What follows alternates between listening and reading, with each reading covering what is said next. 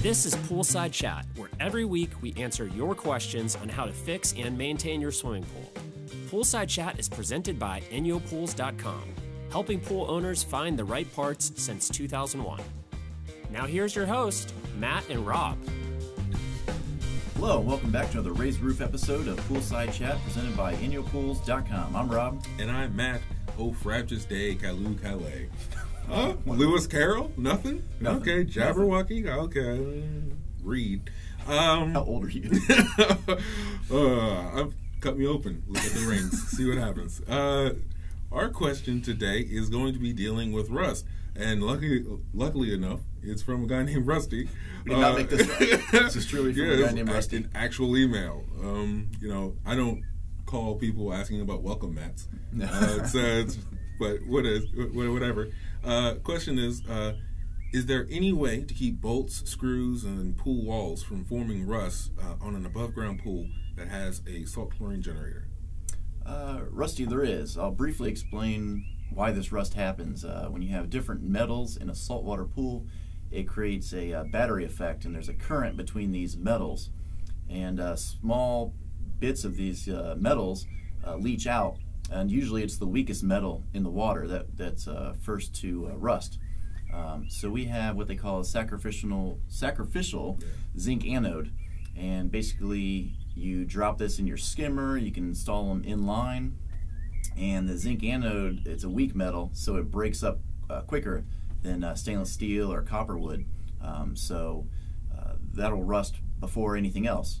Yeah. And they're also pretty easily replaced. You either bolt them into the side of the pool, or you know, it's it's like a basically like a saddle that you put on top of a pipe, and you just pull it out to replace it, or put a put a new one back in. But that was the that was the scientific um, explanation. I'll give the the layman's exp- uh, explanation that helped me understand. Uh, Give us a good analogy. I think I can do that. Um, think of your pool as a tree, and uh, with any tree in the wild, the lowest hanging fruit's always going to get gobbled up first. And that's basically what zinc is. It's going to be that low hanging fruit, preventing uh, or keeping away those nasty little animals, aka rust, from gobbling up your expensive stainless steel rail.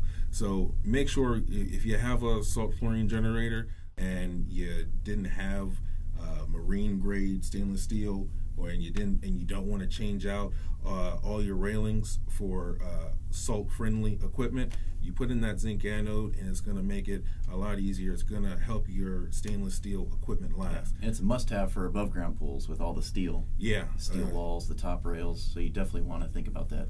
Yeah, yeah, I mean, uh, you know, how much is a zinc anode? Probably like 50, 100 bucks, maybe possibly less. Depends on where you're getting it from. It's it's more or less where you are in the country, but that's going to save you a good bit of money of replacing a pool wall or a skimmer or Definitely. a top rail.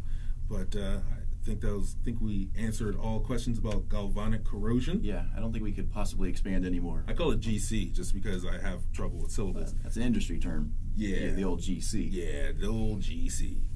Uh, we're smart. yep. But uh, it's been another wonderful explanation of uh, pool pool facts and pool wonderment. Yeah. And uh, thank you for joining us. If you have any questions, you can always contact us at 877-372-6038 uh, or visit us online at inyopools.com. Uh, you can email us at upload at inyopools.com.